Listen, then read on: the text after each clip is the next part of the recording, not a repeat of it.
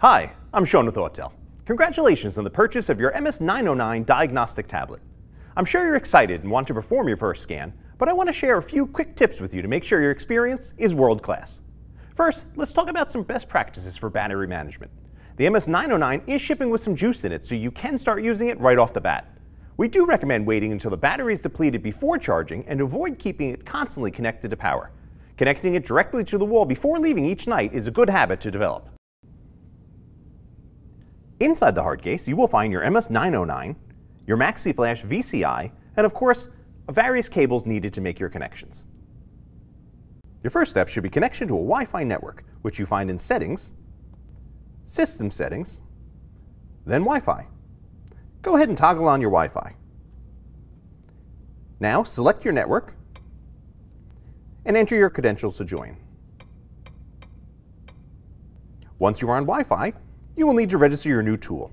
This can be done quickly and easily right on the tablet, or if you prefer, at pro.autel.com. If you already have an Autel account, just sign in with your email and your password.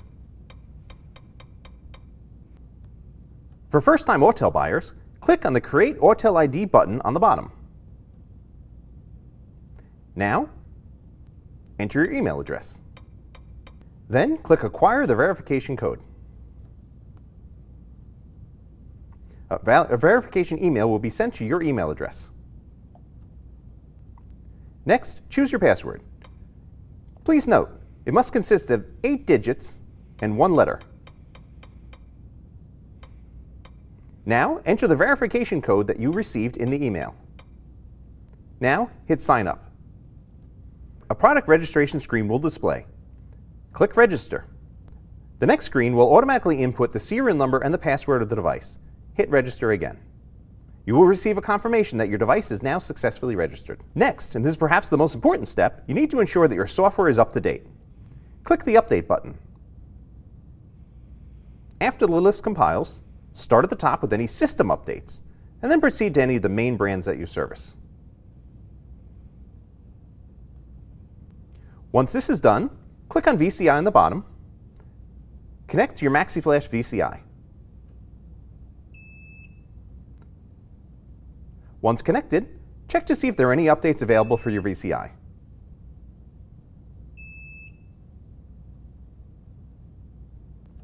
Click the Update Now button. Please note, do not leave this screen until the updates are finished.